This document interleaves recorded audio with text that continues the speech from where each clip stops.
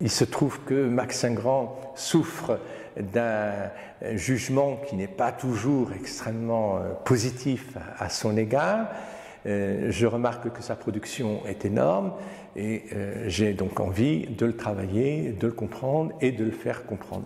Et c'est l'occasion d'ailleurs de modifier aussi, enfin de faire évoluer euh, nos appréciations qui sont souvent un peu courtes parce que certains artistes sont encensés, d'autres sont critiqués, la plupart sont oubliés et euh, il s'agit de restaurer une vision peut-être plus, plus scientifique, plus, plus neutre d'une créativité qui est très abondante.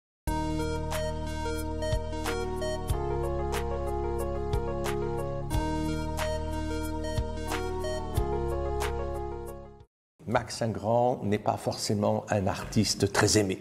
On va commencer par ce qui fâche.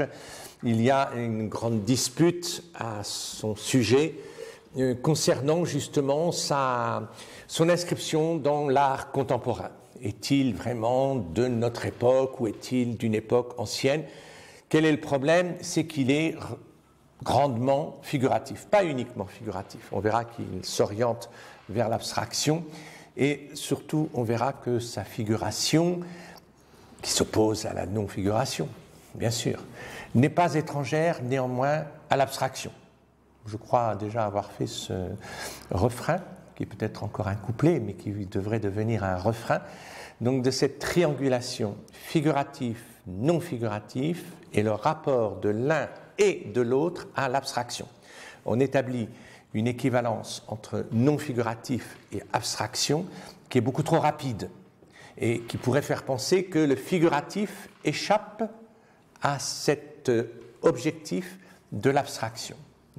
C'est une erreur parce que l'abstraction, c'est le fait de l'art. L'artiste prend quelque chose de réel, de matériel, d'ici-bas, de concret, et il en fait quelque chose qui nous ouvre sur des réalités supérieures, qui peut-être nous fait rêver, qui nous introduit dans le spirituel. Donc il y a une transformation d'un état euh, concret, matériel, qui n'est pas de l'ordre de la création de l'artiste, puisqu'il le prend tel quel, un morceau de pierre, un morceau de bois, de la terre, du verre, etc.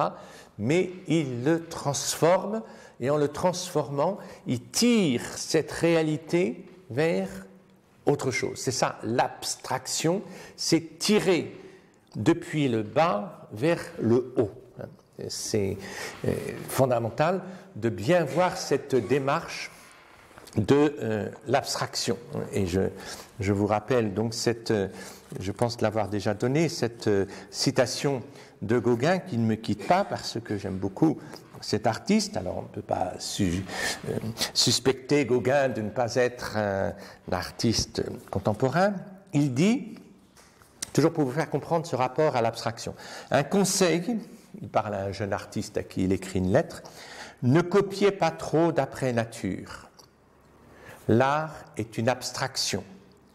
Tirez-le, tirez cet art de la nature en rêvant devant et pensez plus à la création qu'au résultat.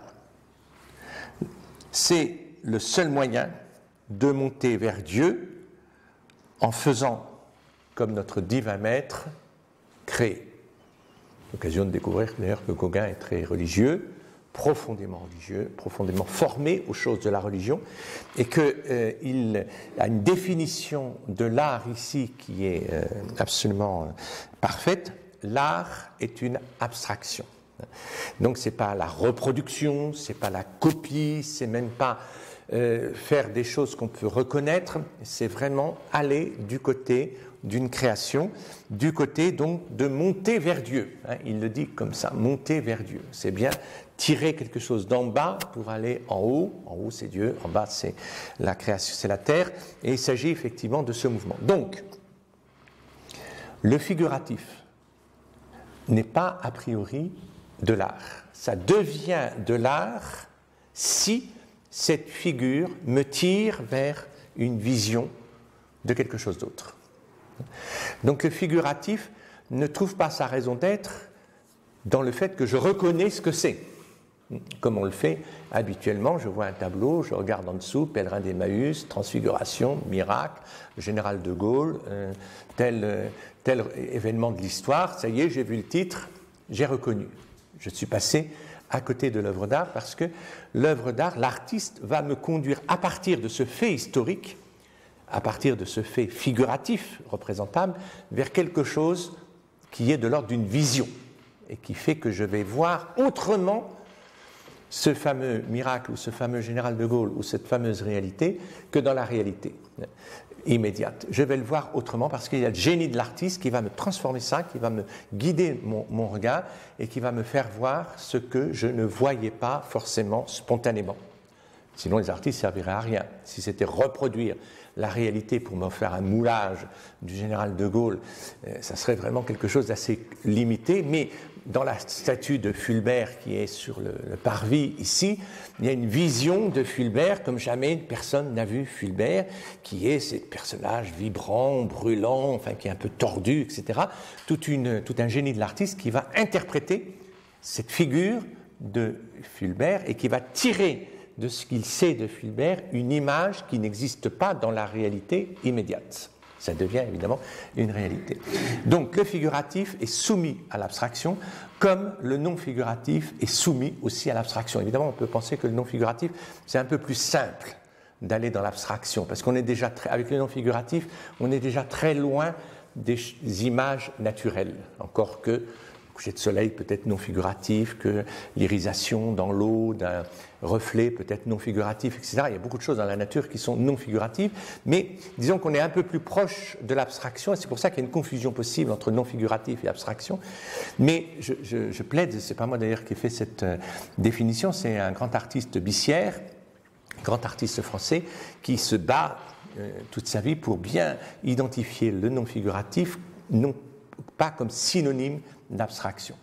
Et il y a des non figuratifs qui sont finalement plats, qui ne sont pas de l'ordre de l'art, parce qu'ils n'évoquent rien, parce qu'il n'y a pas de dynamisme, parce qu'il n'y a pas de puissance dans ce non figuratif pour me conduire vers au-delà. Finalement, c'est plat. Voilà, c'est creux, c'est plat, c'est trop, euh, c'est pas inspiré. Donc, euh, c'est pas parce qu'on est figuratif qu'on est dans l'abstraction, et c'est pas parce qu'on est euh, figuratif qu'on n'est pas dans l'abstraction. Donc, il faut bien, bien voir cette chose-là. Alors, malheureusement, malheureusement, le débat est sanglant entre figuratif et non figuratif. Le débat est sanglant et euh, quand on parle des choses de l'art, on pense toujours que la musique adoucit les mœurs et donc on pourrait connaître un moment de paix euh, avec les choses artistiques. Dans la réalité, on se dispute beaucoup, on n'est pas d'accord et euh, on aime, les critiques sont cinglantes, sanglantes, on pleure, on, on saigne beaucoup. si on n'aime pas mon œuvre, si mon œuvre est critiquée, massacrée, etc., c'est très dur. Donc c'est un milieu difficile, même entre nous ici. on peut très vite se disputer, tu aimes ça, moi j'aime pas ça, comment tu peux aimer ça, c'est pas de l'art, etc. Enfin, vous avez la fameuse pièce l'art, art, vous l'avez peut-être vu autour d'un tableau blanc, trois amis, trois excellents amis qui se disputent. Et pourtant, ils sont très amis. Parce qu'il y en a un qui dit, qui a acheté le tableau, l'autre lui dit, tu t'es fait avoir.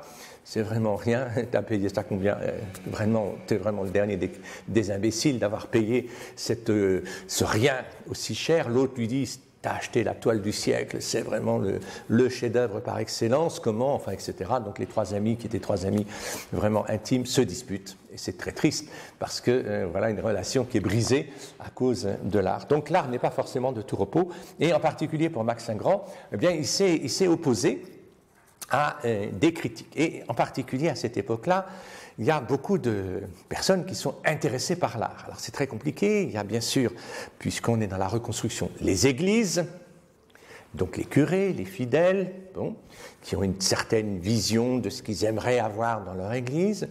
Il y a euh, les gens de l'État, souvent, parce que c'est des monuments historiques, ou quand ce n'est pas des monuments historiques, vraiment, c'est quand même les dommages de guerre, donc c'est des sous de l'État et qui doivent être gérés euh, d'une façon euh, régulière.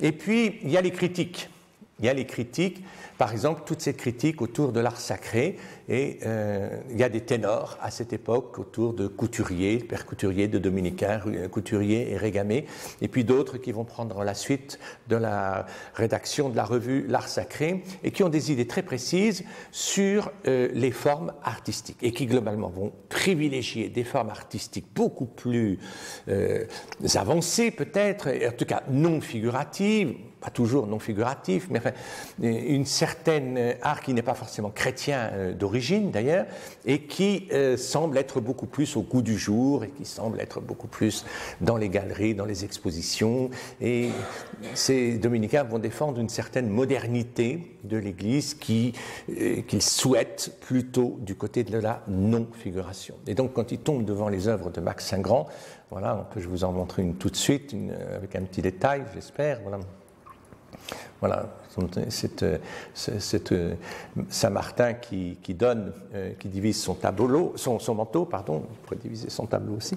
Euh, voilà, on reconnaît effectivement très bien Saint-Martin sur son cheval, le pauvre qui est devant, beaucoup de, personnages qui vont renforcer la symbolique parce que Saint-Martin va devenir évêque, parce que Saint-Martin est un moine, parce que toute l'histoire de Saint-Martin, c'est de, de l'histoire sainte. On aime ça évidemment parce que ça correspond à la plupart de nos vitraux, de la plupart de l'iconographie. Il faut voir quand même que l'abstraction contemporaine, donc le non-figuratif contemporain, est assez récent, euh, qu'il y a des exemples dans l'histoire déjà de non-figuratif. Ce n'est pas la première fois qu'il y a du non-figuratif. Il y a du non-figuratif dans les arts premiers, des non-figuratifs dans l'art irlandais.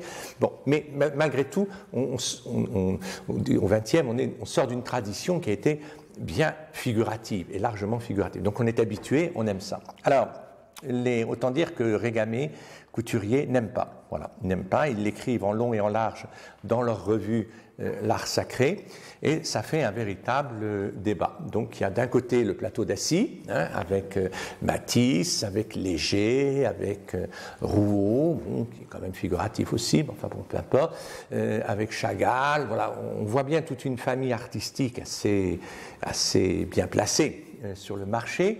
Et puis il y a les autres, donc euh, euh, les Gabriel Loire, les Max Ingrand, euh, et alors plus largement encore Jean Berthold et le Moal, Bazen, enfin Bazen et, et Manessier vont, vont, échapper un peu à cette critique, mais bon, donc il y a vraiment un fossé. Et donc, pour rentrer dans le vif du sujet, effectivement, Max Saint-Grand n'est peut-être pas du bon côté. Et il était, euh, quand on, voulait un peu se piquer de modernité, ben, ma foi, on ne disait pas qu'on aimait Max Saint-Grand. Effectivement, c'est plus facile de dire j'aime Matisse, euh, j'aime euh, Rouault ou Chagall. ça marche tout seul, ça. Hein, c'est sûr que là, vous êtes dans l'air du temps. Alors, euh, ça, s'appelle un purgatoire pour les artistes. Il y a des artistes comme ça qui produisent énormément de choses, qui de leur vivant ont un énorme succès, parce qu'il faut reconnaître que le succès de Max Saint-Grand est colossal au niveau des commandes, et que les autres n'ont pas le dixième de ce que lui a pu avoir, mais euh, il n'est pas euh, en odeur d'art sacré officiel. Voilà. Et, c'est quand même très dur, c'est quand même, je pense qu'il en a souffert, euh, c'est quand même un purgatoire. Alors les choses sont en train de changer euh, actuellement parce que bien sûr qu'on révise un peu nos jugements, malgré tout, régulièrement. Bon. Donc. Euh, les choses euh, évoluent. Il se trouve qu'il y a eu des travaux, qu'il y a des travaux universitaires. Il y a une thèse qui vient d'être soutenue sur Max Saint-Grand de Jean-Pierre Blin, que vous devez connaître parce que c'est quelqu'un qui est dans la région, qui était conservateur des monuments historiques euh, à la DRAC et qui euh, fait ce travail qui correspond un peu à l'œuvre de sa vie. Il vient de soutenir récemment à Paris 1, je crois. Et sa thèse est tout à fait saluée comme un très bon travail. C'est une thèse très opportune parce qu'elle remet en selle un artiste euh, qui, malgré tout, a été un peu euh, disqualifié. Et donc, euh, on observe actuellement un réajustement de notre jugement en se disant, après tout, Couturier, bien sûr, Couturier et Régamé ont fait des bonnes choses. Ils ont créé, ils ont favorisé Assif, ils ont favorisé Vence, ils ont favorisé Audincourt, ils ont favorisé des créations qui aujourd'hui nous parlent beaucoup par rapport à la pointe de la création artistique. Et leur argument était juste de dire si on rate la relation avec euh, Léger, avec Matisse, avec euh, peut-être Picasso, bon ça on l'a raté celle-là, mais euh, avec d'autres artistes, ça serait dommage pour l'Église de rater cette relation. Donc ils ont fait du bon travail. Mais ce qu'ils ont fait correspond qu'à 10% de ce qui s'est créé à la même époque. Donc il faut quand même réajuster. Et je suis aussi une autre thèse actuellement sur, sur Jean Berthold, autre artiste euh, méconnu, hein, qui est très grand artiste, euh, qui fait partie de la deuxième école de Paris. Voilà, il y a toute une génération d'artistes français qui ont été euh, dans une tension extrêmement complexe avec Bissière, etc., euh, une tension complexe entre figuratif et non figuratif, qui ont été pas mal figuratifs, qui ont, sont revenus au non figuratif, mais qui n'ont pas fait un, choix aussi radical et qui ont été euh, balayés par une critique finalement pas tout à fait innocente, parce que cette critique est quand même largement et je pèse mes mots, financée par les Américains. Hein, la CIA a promu toute une série d'artistes non figuratifs qui se sont imposés, par exemple, à la Biennale de Venise. Ça fait maintenant, il y a une Française qui dirige la Biennale de Venise qui est revenue. Mais enfin, euh, le dernier artiste à être promu, le dernier artiste français à être promu à la Biennale de Venise, c'est dans les années 55, c'est Bissière. Et encore, c'est un d'honneur. On a préféré, évidemment, pour le Grand Prix, un artiste qui faisait du pop art. Bon, donc c'est tout à fait différent pour nous et très nouveau, et euh, qui, a été, quand même très difficile parce que l'école française a été mise sur le côté, après avoir été très championne dans le monde avec euh, Picasso, euh, Braque, etc., elle s'est trouvée reléguée, évidemment, après-guerre, par euh, un autre, autre, mouvement beaucoup plus puissant financièrement parlant, et aussi en production, avec les les, etc., etc., donc qui, sont de, de, de, grandes valeurs, bien sûr, mais qui ont contribué, parce que le rapport de force est quand même très sévère, qui ont contribué à effacer un peu la production française. Et donc Max Ingrand est tout à fait dans ce mauvais créneau euh, pas tout à fait au goût du jour, pas promu comme la pointe de la création artistique, euh, euh, assez aimé aux États-Unis, mais pas complètement par la critique des États-Unis. Enfin, c'est très compliqué. Toujours est-il qu'il est temps de le sortir de son purgatoire et de toute façon d'apprécier quelque chose qui est de grande qualité. Alors, qu'est-ce qu'on peut dire sur, je vous montre là, pour commencer, une de ces réalisations très, très précoces, puisque c'est celle de Maison Alfort, l'église de Sainte-Agnès dans les années 32-33 euh, on décide de construire cette église dans un quartier euh, nouveau de Paris, enfin la banlieue de Paris, euh, au-delà de Charenton. il y a les établissements Pernod à côté, enfin bon, il y a toute une série de, mécènes qui favorisent cette construction. Et on fait appel à Max Saint-Grand qui vitre donc une série importante ici de, de vitraux dans les façades avec un programme iconographique très très important. Donc c'est avant-guerre, euh, c'est pas une église de la reconstruction, c'est une église de la promotion des quartiers euh, qui bénéficie donc d'une création extrêmement soignée artistiquement, puisqu'il y a aussi à l'époque son épouse Paul Ingrand qui fait des, tapisseries, voilà comme ici, très très très très intéressante. Il y a aussi le fils de Georges Desvallières, euh, Richard Desvallières, qui fait les ferronneries. Il y a beaucoup d'artistes. C'est vraiment une église qu'on redécouvre aujourd'hui, et la production de, de Max Ingrand est sans doute la première qui effectivement a beaucoup séduit. Il est temps de parler de euh, Rechèvre, mais je n'en parle pas trop, c'est pas grave, parce que vous êtes, euh, à Rechèvre tous les jours, pratiquement. Donc, euh, Rechèvre, euh, on décide de construire cette église en 1959. Et donc, euh, c'est Monseigneur Michon et pas Pichon euh, qui est marqué dans le, dans le livre ici. Mais comme c'est Chartres, euh, Michon, Monseigneur Michon est un évêque très aimé qui décide de construire dans ces fameux quartiers un peu excentrés des églises. Mais on n'a pas beaucoup d'argent, évidemment. Et alors on décide euh, une église qui soit très communautaire, euh, concentrée sur l'autel, avec une primauté de l'architecture, mais pas de décor, parce que de toute façon on n'a pas de sous, pas de dépenses somptuaires, etc. Et surtout le caractère religieux et fonctionnel, 400 places plus 300, et pas un mot sur les vitraux. Dans le premier programme, Père Clossé, curé, Monseigneur Bichon, etc. Et alors là, il y a un effet du hasard absolument extraordinaire, comme quoi les choses de temps en temps sont étonnantes, c'est qu'il y a un repas, un banquet d'anciens prisonniers du fameux Oflag 4, je ne sais pas quoi, de Silésie. Voilà que euh, Max Saint-Grand se retrouve avec son copain Jean Redréau. Et Jean Redréau, c'est l'ingénieur qui travaille avec le lauréat. Euh, c'est l'architecte, pardon. C'est euh, l'architecte qui était retenu pour construire cette église. Alors attendez, je ne sais plus s'il est avec Jean Redréau ou avec l'ingénieur Stéphane non, c'est Stéphane du Château. Y il y a deux personnes. Il y a un architecte et un ingénieur. Bon, ça, c'est les constructions d'aujourd'hui. Il faut toujours quand même assurer la solidité des choses. Donc, il y a un ingénieur euh, du bâti. Et donc, c'est l'ingénieur Stéphane du Château, qui est un ancien prisonnier. Ils mangent ensemble. Et Stéphane du Château lui dit Ah, je suis sur un projet fantastique d'une église à Rechèvre. Il dit, mais j'ai vécu 20 ans à Rechèvre, moi.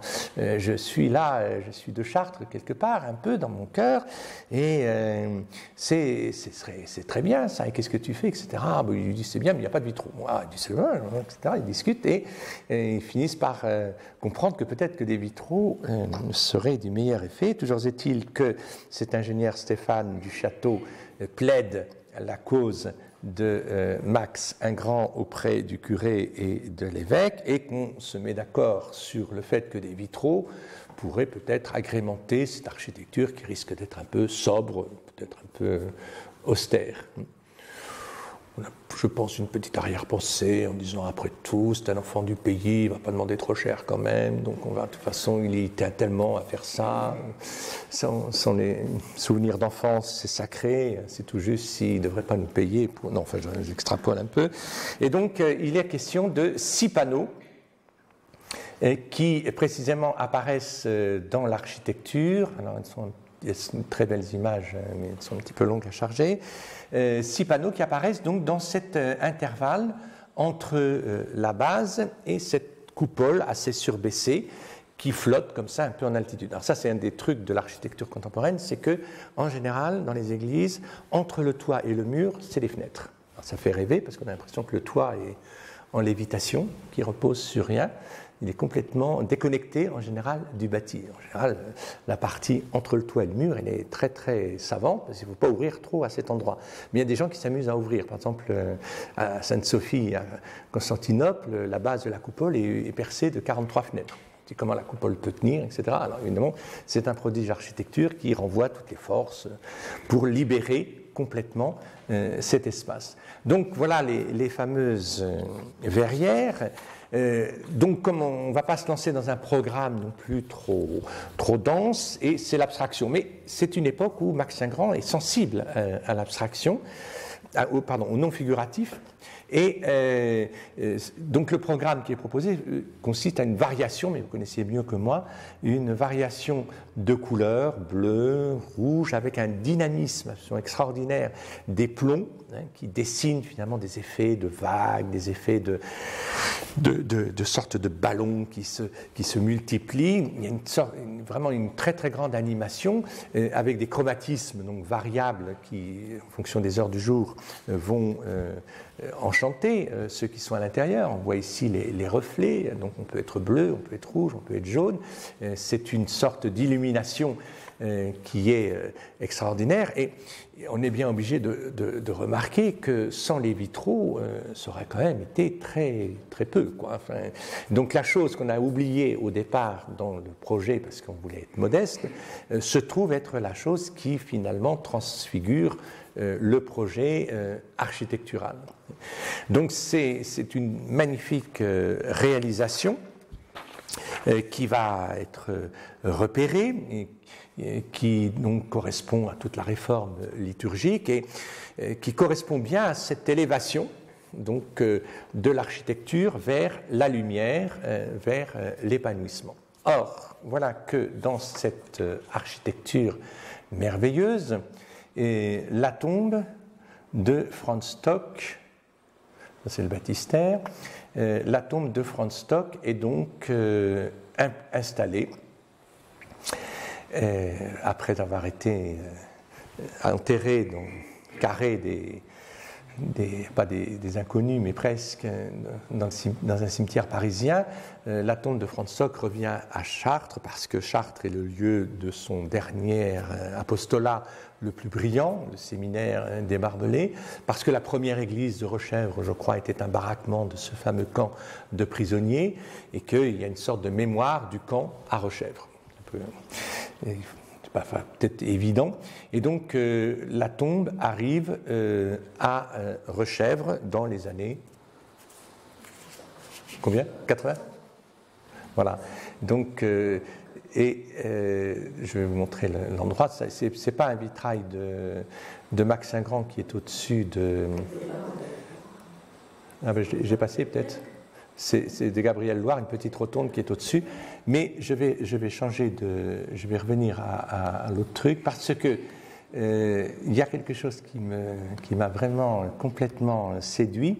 C'est euh, le choix de, euh, de l'image de Franz Stock. Donc voilà, donc on a réussi récemment à réaliser cette image de Franz Stock qui part effectivement du vitrail central donc ici, avec ce dessin qui représente une sorte de, parenthèse. on ne sait pas très bien, à la limite, ce que c'est. Euh, c'est peut-être une mandorle. Euh, et on en trouve aussi dans les autres verrières. Bon, peut-être qu'on pourrait faire d'autres montages par la suite. Mais euh, on a voulu, on a senti d'une certaine manière, pour ceux qui ont réalisé cette magnifique image, que ce foyer euh, rouge euh, mis en valeur par le vert blanc ici qui délimite un espace particulier euh, ressemblait peut-être à quelque chose de l'ordre d'une mandorle, quelque chose de l'ordre d'un foyer sacré et que à l'intérieur de ce foyer sacré, eh bien, on voit la figure de Franz Stock. Alors c'est le rêve pour moi parce que finalement, et c'est le conseil que je vous donne, quand on a du figuratif, il faut absolument voir le non figuratif qui est dans le tableau figuratif. Mais quand on a du non figuratif, par exemple ici ce fameux, cette fameuse verrière non figurative, eh bien il faut voir effectivement une figure de sainteté qui se dessine dans ce halo lumineux qui est de l'ordre, ils le reconnurent et il devint invisible à leurs yeux. Alors on réimplante effectivement artificiellement l'image de Franz Stock, mais il est évident que cette image de Franz Stock est en perspective d'un vitrail non figuratif, donc finalement d'une transfiguration du Franz Stock physique, historique, qui n'existe plus comme un être de chair, mais qui existe comme un être spirituel et qui est emporté par cette euh, dynamique de la lumière, de l'illumination, comme le corps du Christ sur le mont Tabor est emporté dans une transfiguration qui fait qu'il devient lumineux au point d'éblouir, au point qu'on ne le voit plus avec des yeux d'homme. Et Pierre et Jacques et Jean ont bien du mal à, voir ce qui se passe, ils sont donc plutôt éblouis, parce que c'est très très difficile de voir cette nouvelle figure qui apparaît à travers, comme résultat du travail d'abstraction artistique. Donc, euh, euh, finalement, Max Saint-Grand pratique les deux. Il pratique très très bien de la figure vers la non-figure en désarticulant, en déstabilisant un peu notre représentation dans ce qu'elle pourrait avoir de trop simple et de trop immédiat. Donc il nous emporte dans une vision qui finalement nous fait oublier le réel trop simpliste, littéral, mais il pratique aussi l'abstraction, sans trop le savoir ici, puisqu'il ne savait pas la destinée euh, de son Église avec euh, la tombe de, Franz Stock, mais euh, tout un chacun qui est dans cette, dans cette Église est entraîné dans ce foyer lumineux pour connaître un moment d'illumination, hein, ce qui est dit dans les Saint Bernard. L'air est inondé de lumière et tout le monde est illuminé au point que chacun devient lumière lui-même. Donc on reçoit cette lumière qui nous transfigure. Et donc euh, cette vision des vitraux peut être un peu muette dans un premier temps, un peu neutre, mais comme il s'agit de célébrer euh, un Christ qui est présent et en même temps euh, ressuscité, eh bien, euh, il est évident que toute cette couronne de lumière qui soutient la voûte est comme une, hymne à la résurrection. Hein. Passage de l'ombre à la lumière, le passage de l'opaque à, l'ouvert, et, que cette figure de la sainteté se profile évidemment comme en filigrane euh, dans cette euh, non-figuration. Et, voilà, c'est donc euh, toujours intéressant de manipuler les, les contraires. Un figuratif, pour moi, n'est pas figuratif définitivement, il n'est figuratif qu'un temps, parce que le processus du figuratif, c'est de nous conduire à la vision qui est au-delà de la première vision. De même que le non figuratif n'est non figuratif qu'un temps, parce qu'il doit nous conduire lui aussi à une vision, et si possible qui récapitule tout ce qu'on connaît déjà, mais qui est d'un autre ordre. Donc Max Ingrand, à mon avis, a du ressort encore pour quelques siècles.